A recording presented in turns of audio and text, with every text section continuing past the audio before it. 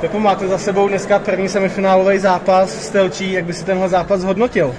No, nebylo to samozřejmě nic jednoduchého, když výsledek tomu neodpovídá. 8-1 malinko krutý pro soupeře, protože po druhý to bylo 3-1, nedali nám to vůbec zadarmo. A, ale my jsme to jako od nich čekali, protože, eh, protože víme, že se jsou houževnatý a, a u nich to nebude taky nic jednoduchého. Takže jako, hele, výsledek, výsledek neodpovídá asi předvedený hře. No.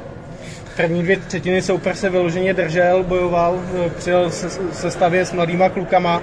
Jak ty vám zatápěli, jak eh, bylo důležité s nima držet ten krok a neudělat tu chybu jako první? Jo, tak samozřejmě teďka, teďka už víme, o co hrajeme a bude to, bude to jenom o chybách.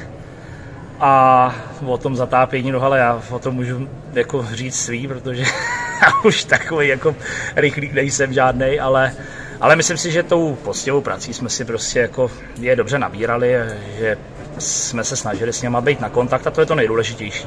Je to vše, všechno jenom o bruslení. No. V sobotu vás čeká těžký zápas eh, v Telči na malém kluzišti. Eh, všeobecně, eh, tady se hraje na velkém hřišti, ten přechod na to malé kluziště je vždycky problémový. Víme to ze zápasu s Moravskýma Budějovicema, s Telčí to nebude podobný. Jak se na to připravit? Bude nějaká zvláštní příprava nebo prostě jít vyhrát a urvat to? Hele, je to tak, je to tak, je to malý, já věřím tomu, že tam přijde hodně lidí, takže uh, je dost možný, že některým klukům se třeba podlomí i kolena, ale, ale bude to těžký, bude to těžký, bude to hodně o soubojích a jako myslím si, že nám to, myslím si, že nám to nedají nedaj rozhodně zadarmo, že prostě No ale my tam jedeme s tím, co trénujeme, s tím, co hrajeme a to, co se nám osvědčilo, takže my jedeme furt to svoje a jak tady kluci vždycky říkají, my jedeme prostě krůček po krůčku. Zmínil se, že mladším klukům se můžou podlomit nohy v té eh, tíže okamžiku. Eh, to asi není úplně tvůj případ, přece jen patříš k těm zkušeným hráčům, eh, kvůli tomu si taky do Plernova přišel.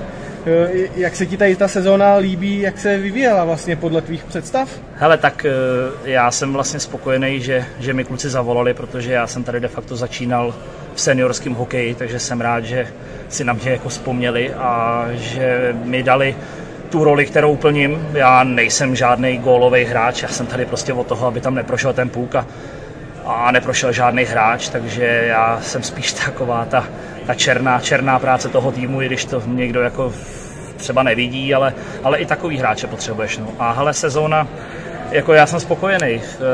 Kluci jsou, kluci jsou bezvadní, parta, parta super. Hlavně, hlavně se prostě vyhrává. My makáme, my makáme i o tréninku, tady ale my tady máme vlastně to, co chceme, tak to máme a, a od toho se to všechno odráží. A jako já jsem tady, já jsem tady šťastný. Svým stylem si určitě získal domácí fanoušky, kteří to dávají jasně najevo. Je vidět, že i tebe to baví. Můžeme jenom našim posluchačům eh, tak nějak přislíbit a poodhalit, že eh, připravujeme v našem rádiu nějaký nový pořád a právě ty bys měl být tím eh, prvním, koho vyspovídáme do éteru takže eh, asi popřejem hodně štěstí do dalších zápasů a budeme se těšit eh, u nás ve studiu. Já, já s pozvání jsem přijal a těším se taky, takže bude to pěkný. A jako, jak říkám, no ale já se na to těším a uvidíme, co z toho bude. Super, děkuji moc. Díky kluci, ať se daří.